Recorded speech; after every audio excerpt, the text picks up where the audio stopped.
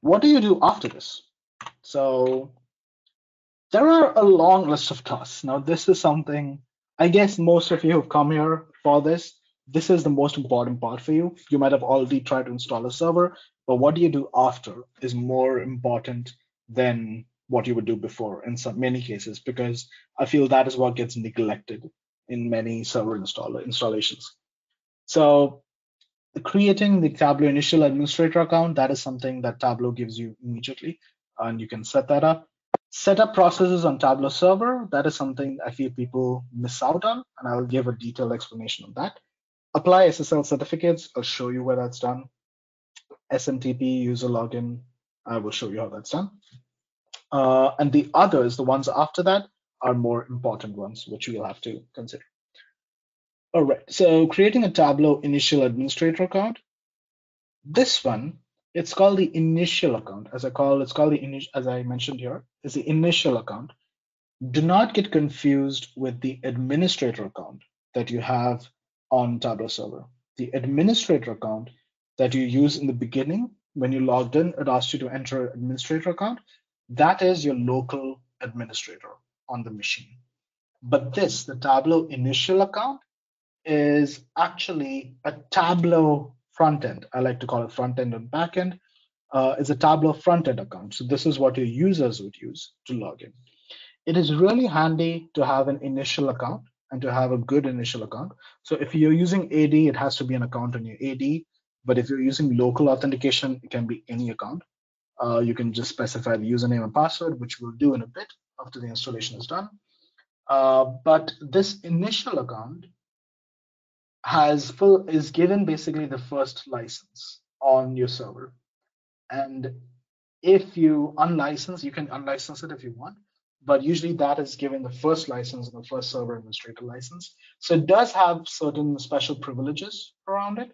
Uh, for instance if all of your users get locked out for whatever reason if your ad stops working tableau still can reset only one account you can reset one account, and that is your initial account.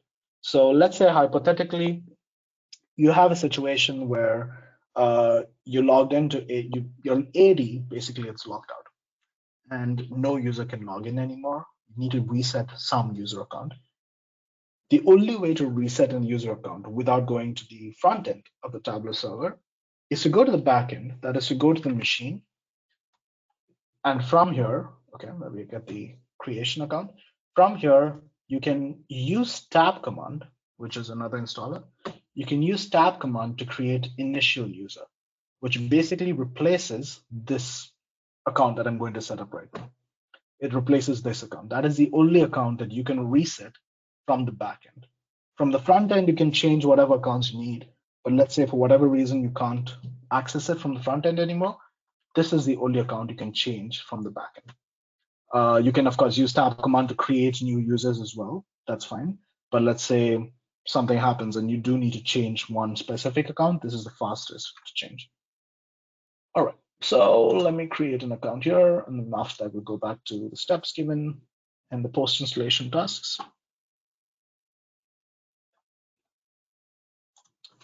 So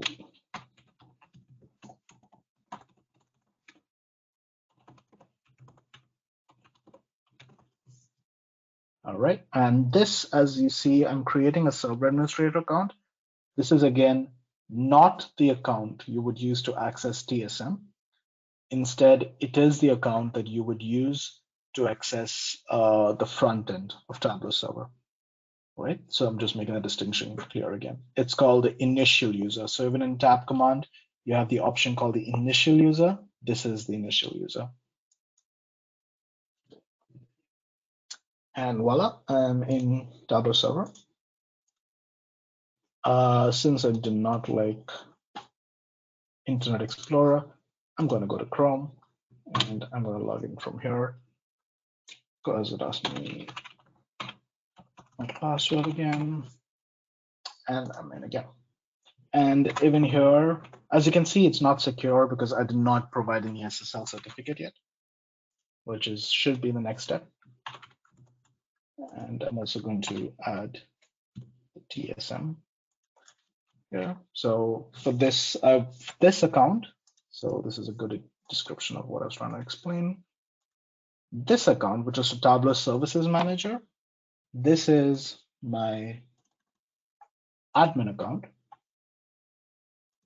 And this account I will is the local admin account. And this account is the account I just created. All right, cool. And now we're in. Now let's go through the next uh, installer tasks. Oh yeah, something else I do like to do, which I would recommend for you as well, is just to create your home page, which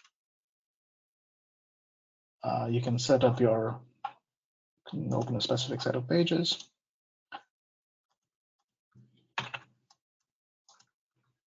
Just have this running. It's really saves a lot of time when you have to go onto your machine again and find TSM quickly.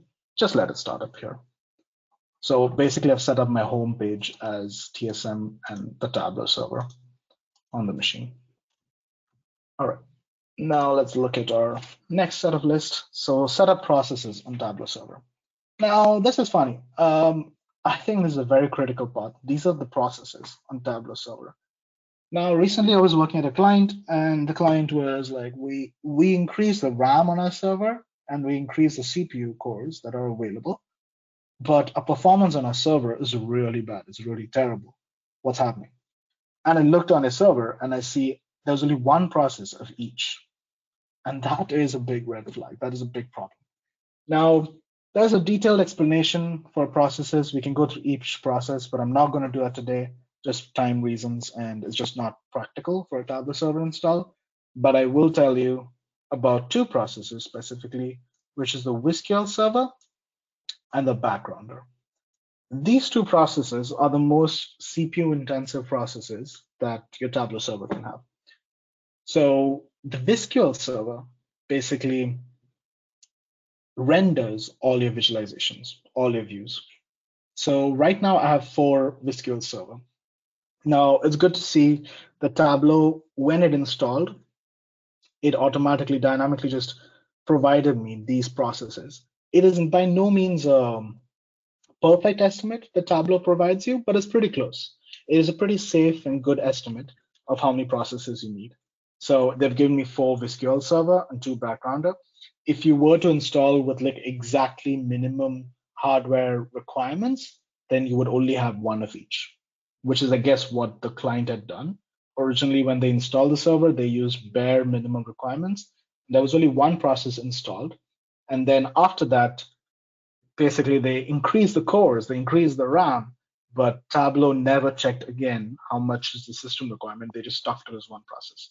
So it is good to use to adjust this yourself afterwards, which is easily possible from the TSM interface. Uh, and that people do right now. So VizQL is basically VizQL server is your rendering process.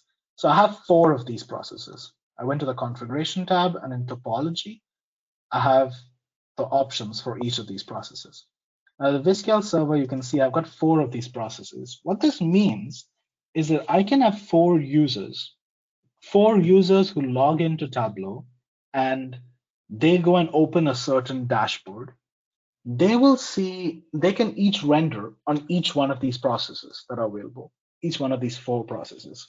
So now the fifth user who comes in basically has to wait till number one is done on any one of these users are done rendering their view before they can start rendering your view.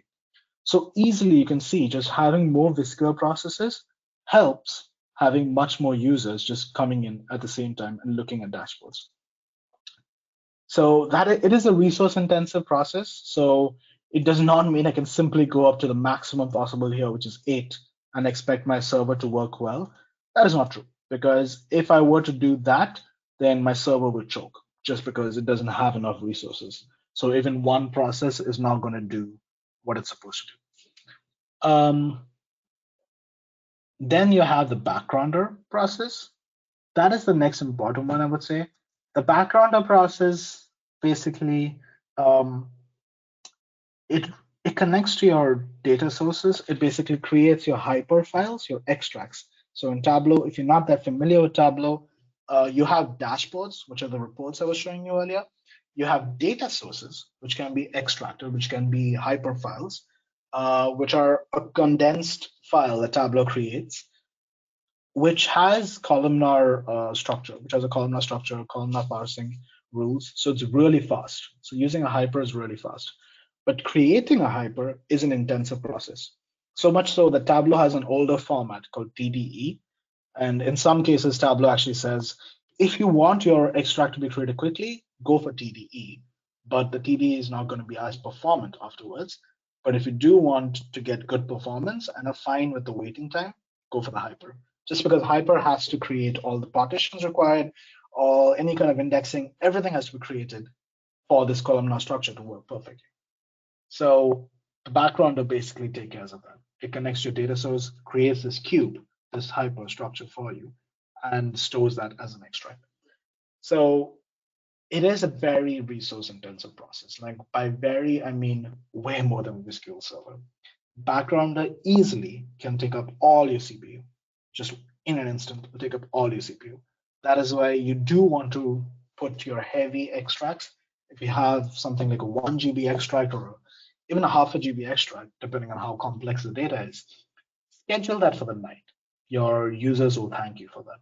Just schedule those extracts to run at night because otherwise it can run in the morning, but it can it'll be a strain. You're going to have problems with the rendering of files. And in some in bigger organizations, I totally understand that you have cases where you do need to create extracts during the day or a live connection, but we're not talking live connections with a backgrounder. Backgrounder is mostly concerned with only extracted connections and subscriptions as well, sending emails from your Tableau server.